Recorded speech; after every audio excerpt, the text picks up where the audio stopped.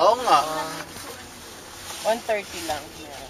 O ilagay mo naman Hindi, yung 130 nga na yon, kulang pa yon. Okay? Wala, yung